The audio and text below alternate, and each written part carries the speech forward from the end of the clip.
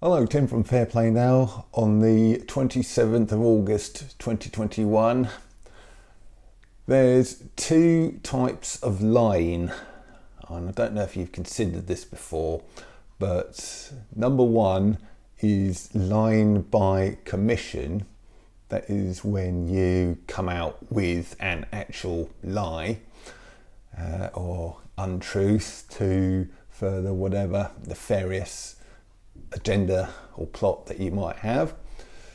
The other type of lying is lying by omission.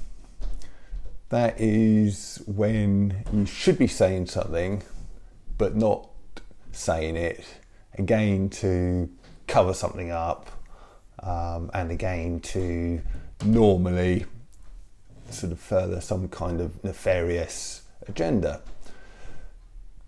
In my mind, both of them are equally as bad, and both of them makes the perpetrator of such lies um, nefarious, untrustworthy, and well, you have to sort of really ask yourself the question: if someone is lying and you can prove that they're lying, a what are they up to, and b why would anyone still be listening to them?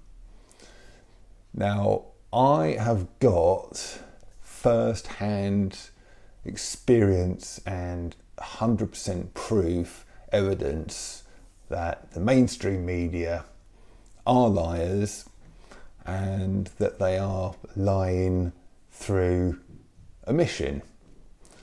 First time I came across this, 100% for sure, was on the 24th of April when I attended my first freedom walkabout through the streets of London and fully expecting, having seen that the vast numbers of everyday, ordinary, concerned citizens fighting for freedom and not seeing anything reported on it whatsoever in the sort of mainstream media.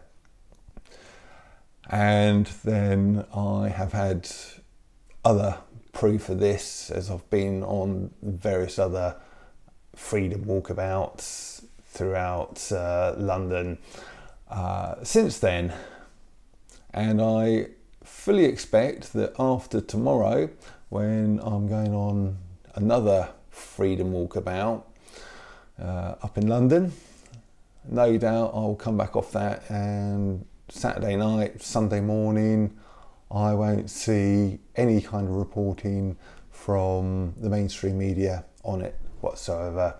Or if there is any kind of reporting, it will be highly unrepresentative and it will be making the people, my sort of fellow freedom walkabouters, uh, sort of look like sort of people that we're not, far from painting us as con- just concerned citizens. They'll be painting us in some sort of uh, poor light, no doubt. So that would be the line by commission, of course, and many of them probably won't report on any, anything at all, uh, including the BBC probably. So that is line by omission. So, as far as I'm concerned, this is 100% proof that the mainstream media, including the BBC, are liars. They're not to be trusted whatsoever. And you have to ask yourself, what are they up to? Why are they lying? And now that you've got proof, or via me, uh, proof and evidence that they are liars, why are you still listening to them and kind of taking what they say as gospel? Because if they're lying about that, what else are they lying about?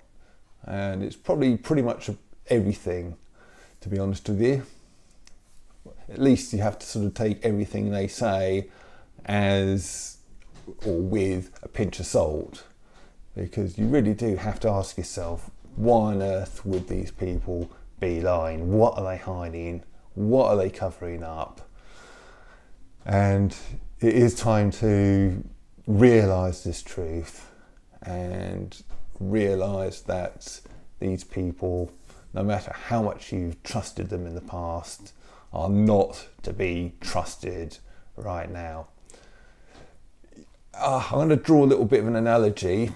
Uh, you might recall, well, you no doubt recall the tragic events of, I think it was 2014, I believe, about March 2014, uh, when the Malaysian Airways or Airlines flight MH370 went missing, kind of totally disappeared, and to this day, nobody knows where it went. Out, I've seen various theories about what happened with that, and I think the most credible one that I've seen is that the pilot, the captain, who was suffering from a lot of problems, wanted to basically commit suicide, and he chose to do so by um, sort of flying his plane in a, a bit of a sort of circuit, you know, circuitous route uh, until he was able just to sort of fly out over the ocean until the fuel ran out and killing himself and obviously taking a lot of innocent people with him. Now, the point of this is, and why it ties in with you know, the authorities and the uh, mainstream media, is obviously the captain of a major airline is someone who you'd think you could trust. But what happens when they don't deserve that trust? What happens if they are up to nefarious things, which is putting a lot of people's lives in danger? It does happen, it has happened a lot in the past, and I believe it is what is happening now. So, you really, and, and kind of that explanation of that uh, tragic air accident, um, well, if you can call it an accident, uh, is kind of proof that these things can happen, that figures of authority, institutions of authority, a lot of the time cannot be trusted. So I'm going to leave that thought with you. I'm going to make preparations now to uh, go on my uh, freedom walkabout uh, tomorrow. I'm Going to make my way up to London, probably get to Hyde Park somewhere around uh, midday or half 11 to, to midday. And uh, hopefully, I'll see you there if you're going to go. Otherwise, I'll be shooting uh, plenty of footage.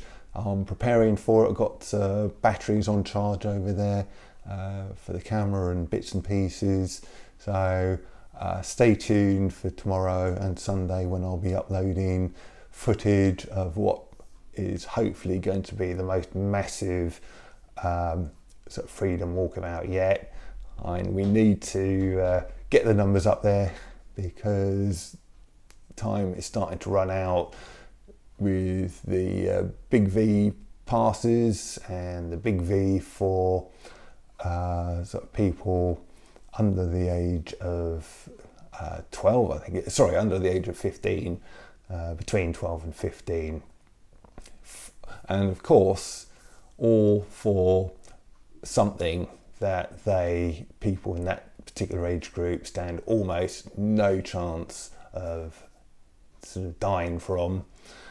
People might be telling you uh, in the mainstream media that people of that kind of age are dying of it, but I've just shown you, proved to you, that you can't trust that source for information. And I think we can trust virologists, doctors who say that that age group aren't at risk, and in fact, they're far more at risk from a certain treatment than they are from a certain lurgy. And that is the reason I'm going on the Freedom Walkabout. So I'll finish this on that thought. Be back tomorrow with, as, as I say, footage of what happens tomorrow. Tim from Fair Play Now. Thanks for watching.